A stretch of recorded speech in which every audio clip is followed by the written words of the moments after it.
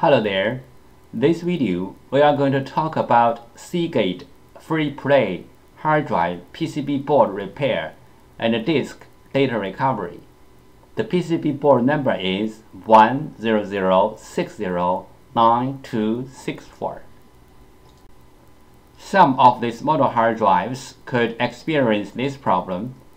The hard drive spins fine, no clicking sound or any other weird sound but the hard drives cannot be detected by any computer.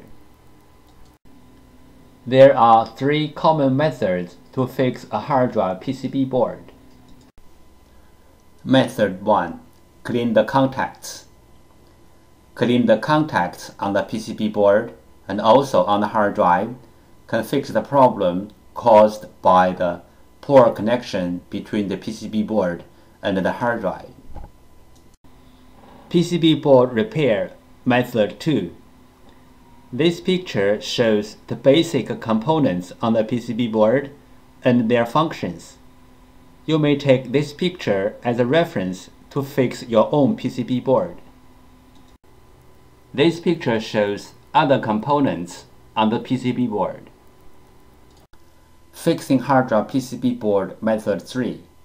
PCB board swap. PCB board swapping including two steps. 1. Find the correct donor PCB board. 2. PCB board firmware transfer. PCB board swap step 1. Find out the correct donor PCB board.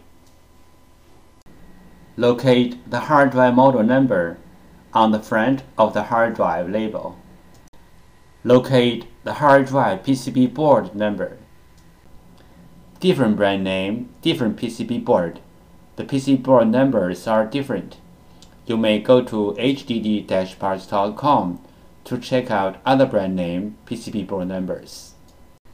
After find out the hard drive model number and the hard drive PCB board number, we use them as a reference to search for the correct donor board.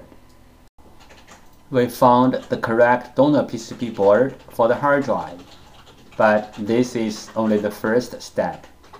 The next step is we have to do the PCB board firmware transfer to make the donor board work on the original hard drive. PCB board firmware PCB board firmware is the information data on the PCB board. It may be in the memory chip or in the main chip on the PCB board. For this model hard drive, we have to do the PCB board firmware transfer first, then we swap the PCB board. Otherwise, the new board will not work on the original hard drive. Why do we have to do the PCB board firmware transfer? Because for this model hard drive, one PCB board includes two parts, hardware and firmware. The PCB board firmware includes hard drive's unique configuration data. The hard drive needs this unique configuration data to work. So we have to transfer this unique configuration data from the original board to the donor board. Then the donor board can work on the original hard drive. Regarding the hard drive PCB board firmware transfer, we have three things to mention. First, PCB board firmware transfer is different from the hard drive firmware upgrade. The PCB board firmware transfer is to transfer the PCB board firmware from one board to another board. The hard drive firmware upgrade is to upgrade the hard drive's own firmware it nothing to do with another hard drive or another PCB board. Second, we can do the PCB board firmware transfer from the physically damaged PCB board, like burned, watered, or other kind of damage. Our PCB board firmware transfer success rate is more than 95%. Third, we do the PCB board firmware transfer for our clients for free. This picture illustrated the procedure of fixing a hard drive PCB board. First, the clients sent in their PCB board. 2. We fix the PCB board. 3. We ship back the PCB board to the clients. We receive many questions regarding the hard drive PCB board firmware, also called hard drive PCB board BIOS, and uh, the hard drive PCB board compatibility. So let's talk a little bit more about this in general. Some PCB boards BIOS are in the independent memory chip like the first picture shows. Some PCB boards BIOS are integrated into the main IC, like the second picture shows. Most of the modern hard drive PCB boards need to do the BIOS transfer before swapping the PCB board. Even the donor boards are identical with the original boards in hardware we have to transfer the BIOS from the original board to the donor board. Then the donor board can work on the original hard drive. The third picture shows some of these PCB boards. But there are some hard drive PCB boards do not need the BIOS transfer as long as the donor boards are identical with the original boards, you can swap the boards directly. The fourth picture shows some of these kind of boards. If you have any questions, such as how to find a donor board, if your board need to do the BIOS transfer, where is the BIOS of your PCB board? How to swap your PCB board. Please go to www.hdd-parts.com to check it out. Or you may take pictures of your hard drive and the PCB board and email to us. We will give you the correct answer. If the hard drive disk assembly is damaged, we can do disk data recovery to recover the data from the disks.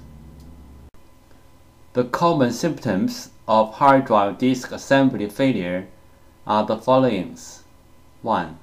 Hard drive makes weird sound. 2. Spin nicely but no access to any computer. 3. Hard drive no spin. Tips If the storage configured as mirrored hard drives, you can take the bad hard drive out, then put same size or bigger size another hard drive into the bay, and then the storage will mirror the data to the new hard drive automatically. If this trick doesn't work, that means the two mirrored hard drives are both damaged, or the storage was configured as RAID 0, that means the two hard drives are different.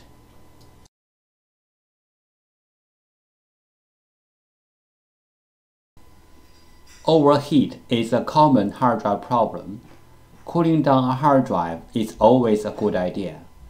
We prefer to take the problem hard drive out from the enclosure or from the computer, and also let the PCB board facing the fan because it is the PCB board who generates the heat to the hard drive.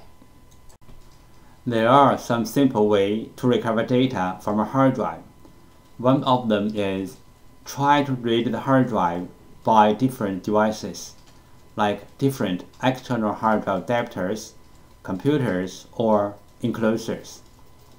Because different devices use different way to read a hard drive.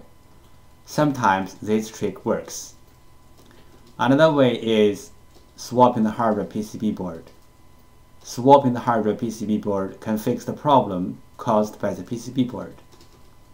There is a cost in swapping the PCB board, but it is way cheaper than sending the hard drive to a data recovery firm.